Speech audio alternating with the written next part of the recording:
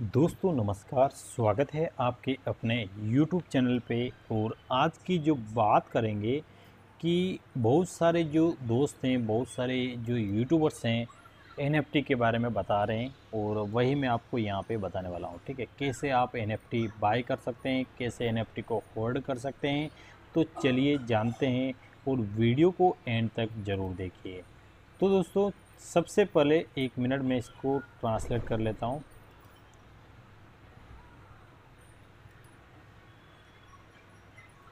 तो दोस्तों सबसे पहले करना क्या है कि आपको कोइन मार्केट के डॉट कॉम की वेबसाइट को ओपन करना है।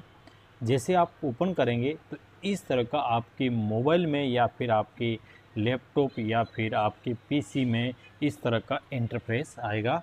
उसके बाद आपको यहाँ पे बहुत सारे सिस्टम मिल जाएँगे, यानी कि portfolio cryptocurrency categories DeFi DeFi project कौन से कौन से हैं, वो भी आपको यहाँ पे मिल जाएँगे। जैसे कि Uniswap Chainlink Luna and Wemix Aave बहुत सारे ऐसे प्रोडे, प्रोजेक्ट हैं जो आपको यहाँ पे डी फाई के मिल जाएँगे और आप इनको रेटिंग में भी आप चेक कर सकते हैं।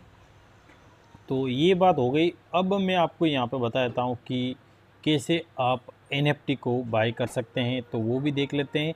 इसके पहले आपको यहाँ पे सबसे ऊपर जैसे कि मैंने आप यहाँ पे डी फाई यहाँ पे क्लिक किया। इसके बाद में N F T N F T आपको एन एफ़ टी के ऊपर क्लिक करना है। एन एफ़ टी के ऊपर क्लिक करने के बाद में आप चेक कर सकते हैं, बहुत सारे जो एन एफ़ टी हैं, जो नंबर वाइज यानी कि फ़र्स्ट नंबर में जो एन एफ़ टी आ रहा है, ये आ रहा है थेटा ठीक है? जो समथिंग आठ डॉलर की मूल्य की रेट अभी इसकी चल रही है और कौन मार्केट कैप में नंबर वन की पोजीशन में मौजूद है। सेकंड लेवल पे जो आता है चिली सी एच जेड वो कौन से कौन से एक्सचेंज से आप बाई कर सकते हैं, वो भी आप चेक कर सकते हैं, वो भी कैसे कर सकते हैं, वो भी मैं आपको बताऊँगा। इसके अलावा आप यहाँ पे डिसेंट्रलाइज माना, यानी कि एक डॉलर के आसपास है, फलो जो है बत्तीस डॉलर के आसपास है, और वैक्स जो है समथिंग आधे से आधे डॉलर की प्राइस से भी यहाँ पे कम है।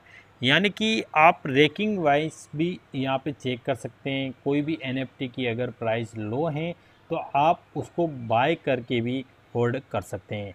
तो मैंने आपको यहाँ पे बता दिया और समथिंग यहाँ पे आप चेक कर सकते हैं। बहुत सारे एनएफटी आपको यहाँ पे मिल जाएँगे।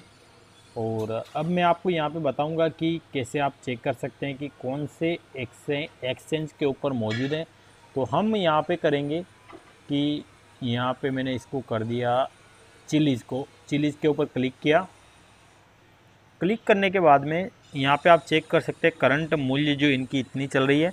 और यहाँ पे आपको जाना है, ओवरव्यू के ऊपर आप चेक कर सकते हैं कि इसकी प्राइस हाल में क्या है। मार्केट में जा, आप जाके चेक कर सकते हैं कि कौन से कौन से मार्केट में अवेलेबल है, ठीक है।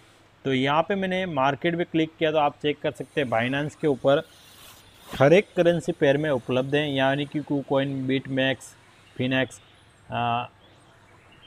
F T X यानी कि ओ के एक्स हर एक्सचेंज पे अवेलेबल है। फॉर एग्ज़ाम्पल अगर इंडियन एक्सचेंज की अगर बात करेंगे तो वज़ीर एक्स के भी ऊपर भी उपलब्ध है। कोइन डी सी एक्स के भी ऊपर भी अवेलेबल हैं। इसके अलावा आप चेक कर सकते हैं कि दो एक्सचेंज जो WazirX and coin D C x ये दो एक्सचेंज ऐसे हैं जो इंडियन एक्सचेंज के ऊपर भी अवेलेबल है। ठीक है? तो अब हम बेक करेंगे, कोई भी एक्सचेंज पे जाके आप बाय कर सकते हैं इसको। वापस मैं इसको लेता हूँ बेक ठीक है? तो बेक लेने के बाद में एक बार वापस बेक लेंगे। बेक लेने के बाद में ये एक कोइन है थर्ड नंबर की पोजीशन पे इसने बना के रखी है, जैसे कि जिसका नाम है ई एन जे ठीक है? तो इसके ऊपर क्लिक करने के से पहले ये एक डिसेंट्रलाइज माना जो है, इसके ऊपर मैं क्लिक कर देता हूँ समथिंग इसकी प्राइस जो है एक डॉलर के आसपास है, ठीक है? तो मैंने इसके ऊपर क्लिक किया। क्लिक करने के बाद में जो इसकी प्राइस की जो ओवरव्यू हैं, ग्रोथ हैं, वो भी आप इसके ऊपर कोइन मार्केट के के चार्ट के ऊपर भी चेक कर सकते हैं। काफ़ी हद तक ये ऊपर गया है और मार्केट में जाएँगे। तो मार्केट में जाने के बाद में यहाँ पे हम थोड़ा सा नीचे जाएँगे। यानी कि हर एक एक्सचेंज के ऊपर भी ये उपलब्ध है उपलब्ध है। यानी कि बल्कि वजीरेक्स के ऊपर भी ये उपलब्ध है, ठीक है? तो आप ये चेक कर सकते हैं थर्ड नंबर की पोजीशन इसने बना के रखी है। और अगर आपको परचेज़ करना है होल्ड करना है, आप अपनी रिक्स पे करिएगा और इस तरह से आप चेक कर कर करके एनएफटी को होल्ड कर सकते हैं, ठीक है? तो क्या पता आने वाले दिनों में अच्छी खासी ग्रोथ यहाँ पे आपको देखने को मिले और क्या पता थोड़ा मार्केट फ्लो भी हो जाए।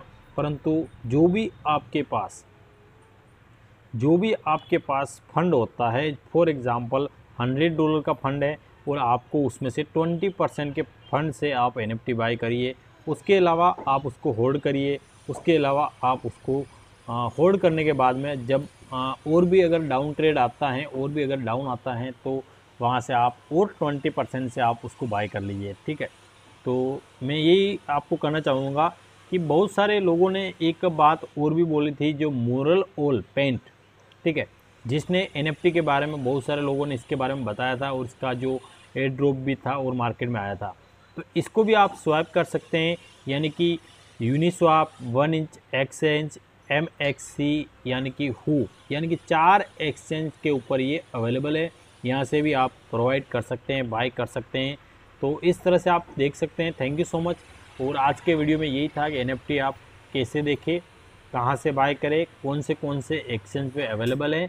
तो thank you so much video अच्छा लगा हो तो लाइक करिए सब्सक्राइब करिए आपके अपने यूट्यूब चैनल को। धन्यवाद।